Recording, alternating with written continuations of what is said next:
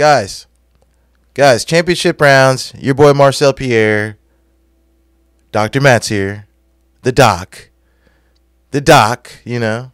Anyways, moving along. You know who gives a? F- just playing Matt.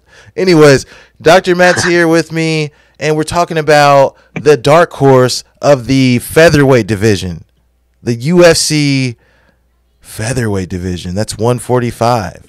The dark horse is one whom hails from England. Nobody's talking about him. Everybody's like Paddy Pimblett, Paddy Pimblett. They wanted they wanted Darren Till to be the next Michael Bisping. But you know what? You know who the real guy with the most potential coming up uh, out of the UK across the pond? It's fucking Arnold Allen. Arnold Allen, who is undefeated, not a blemish on this guy's record, not a damn blemish. And the knock on him, and I'm talking about his record inside the UFC. So don't don't don't hit me with no Cage Warriors shit because I don't give a fuck. I'm talking about the UFC, and the knock on him was that he doesn't fight often.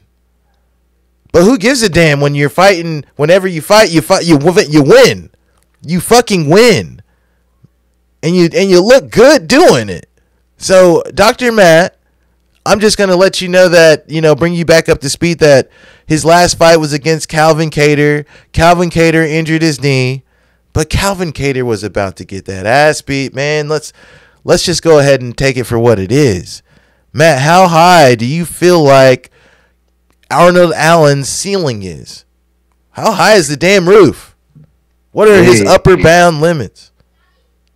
I feel like Arnold Allen could jump up at lightweight right now and walk through most of the top ten. Man, he's a big ass featherweight, isn't he? Go ahead yeah, though. Talk yeah. to him. Uh, he's a beast, bro. You can't hurt that dude. I mean, yeah, uh, you don't want to get hit by him. He'll put his sleep somebody. Didn't he sleep Hooker like real bad? Man, one of man. The, you know, it was one of those. It was one of those fights where you're like, man, you know, is it time for Hooker? You know, even though he's had other fights like that, but you know, go ahead though. I'm not trying to cut off the doctor. Dude's a fucking Viking, bro. How, he might whoop Bisping. I mean, well, you were just you were just singing praises at to Alexander Volkanovski and, and his chances going up to to lightweight, and now you're saying that Arnold Allen could walk up to lightweight right now and walk through guys. Like, man, make it make sense, man. How high do you feel like the roof is for Arnold Damn Allen? I think Volkanovski's running from 145 because he don't want none on Arnold Allen. You think you think Volkanovski's trying to do what you know, trying to get that champ champ status before Arnold does because I don't think Arnold's long for 145 pounds. Like you said, he was he's a humongous featherweight uh, he come up to 155, he ain't gonna have no problems either. If I was him, I'd pull a Conor. I'd, I'd get that belt. Go over there and see what I can do at 155. I don't know. Him and Islam sounds like a better matchup now that I think about it than in, oh, in Islam. Well, let's just well let's just break this down. You got you got uh let's break down let's break down Arnold Allen's UFC career really fast. And we're going to skip a few fights. We're going to go to the more notable fights. He did have a split decision win early on. This was his second his third fight rather in the UFC. And it was against Makwan Amir- Amirkhani, Mr. Finland. And then he strangled Mads Burnell. Skip a fight. He defeated by unanimous decision a very seasoned but washed Gilbert Melendez. He unanimous decisioned Nik Lentz, who's also long in the tooth. He defeated Sodiq Yusuff, who is a tough out. Is is he elite? We'll see. Tough out though. Good fighter. But then he disgustingly defeated Dan Hooker, and I feel like he was on his way to doing the same to Calvin Kattar. We, we won't know. All respect to Calvin Kattar, we won't know. But man, this guy's got some fucking potential.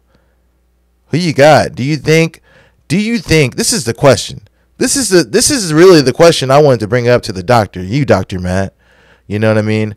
Who do you think has and just don't be a homer. You know, don't be a homer. Like if if, if you feel like there's there other there's other elements to this shit, then how good can you fight? There's other elements to it.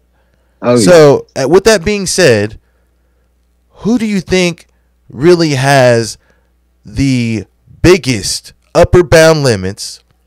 Whose fucking ceiling's higher? Who is the roof? Whose whose roof is higher? Who's gonna have the most longevity inside of the the mothership, the UFC? And I'm talking about and from the UK, because obviously Darren Till is a fight away from being out the door. So who has the most longevity? Arnold Allen. hold on, hold on, hold on, hold on. Arnold Allen or Paddy the Baddy Pimblett? Oh man, Paddy's been exposed. Arnold Allen would smash Paddy. Leon Edwards. You know, you know, you know, it's funny because they're both fighting at fucking featherweight, bro. Paddy Pimblett and Arnold Allen are both fighting at featherweight. They're both from across the pond. I ask you again, Matt. Stop running away from the question. Whom has the the, the most long, who do you think has the most longevity in the in the in the highest roof, the highest ceiling in the UFC, the fucking mothership, Arnold Allen or Paddy the Baddy Pimblett? We know who's more popular right now. We know who we think is the better fighter right now. But Dr. Matt, who sticks around longer? Uh, probably Arnold Allen. And why do you say that? He's got more to gain. Paddy on the outside gains too much weight in between fights. He ain't gonna be able to keep dropping all that. So he'll sooner or later have to either move up or move out. So I just see Arnold Allen. I completely agree with you.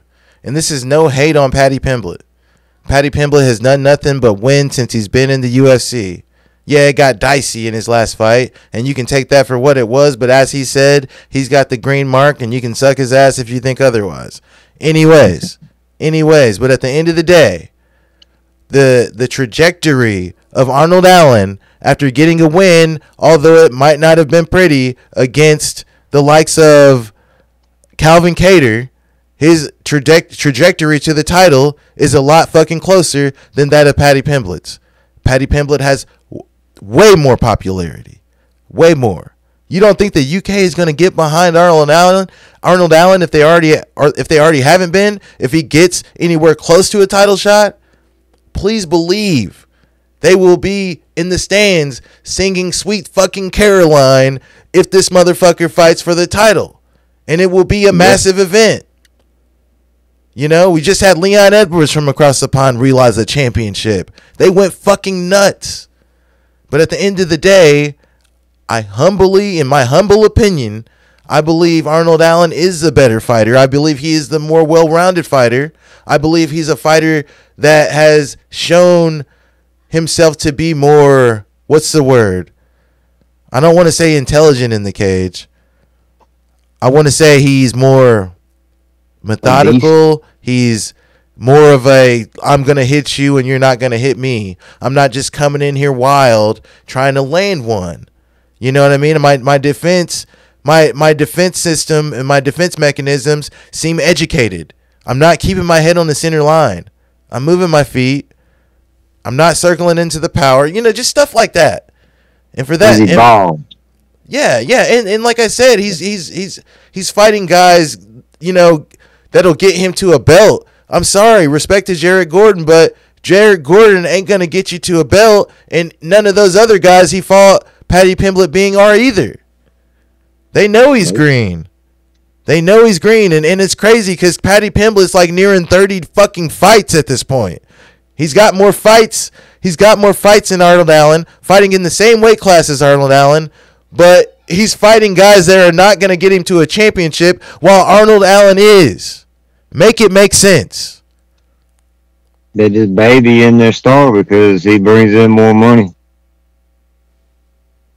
That's that's pretty much what they're doing. Yeah, you know, like you said, nobody's talking about Arnold Allen.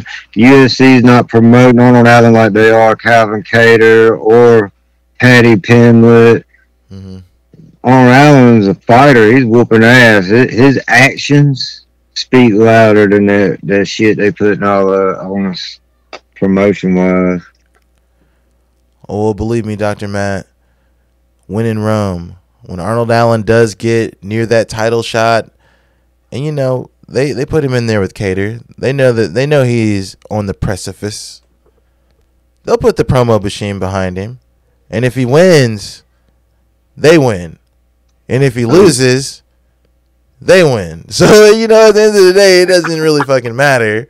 But again, the dark horse of the featherweight division, a huge featherweight, whom me and Dr. Matt both agree could make some noise at lightweight, is Arnold fucking Allen. Be on the lookout. He's coming for that belt.